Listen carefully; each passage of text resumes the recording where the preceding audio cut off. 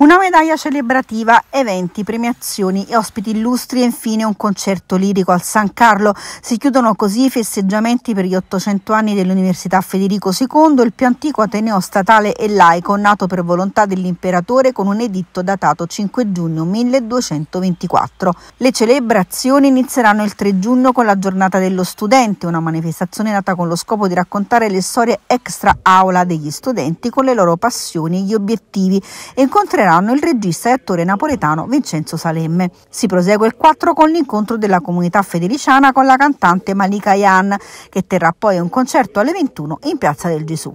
Gran finale per il 5 giugno al Teatro Massimo Partenopeo con una serata in cui Alberto Angela regalerà al pubblico in sala il racconto degli otto secoli dell'Ateneo. In questa occasione saranno premiati anche i laureati illustri, fra cui Roberto Saviano, Viola Arnone e Claudio Palumba.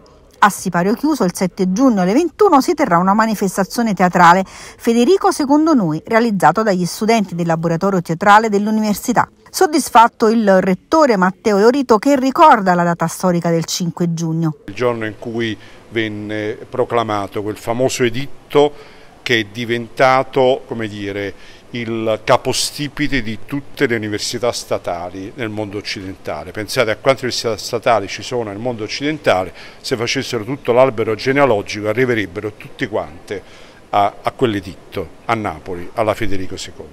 E conclude con un pizzico di emozione. 800 anni sono 8 secoli, se provate a immaginare 8 secoli sono tantissimi, sono veramente tantissimi, sono 30 generazioni, abbiamo formato 30 generazioni di studenti, se provate a fare un calcolo sono centinaia di migliaia di studenti, sono formati da noi e tra questi anche tre Presidenti della Repubblica, non ce lo dimentichiamo.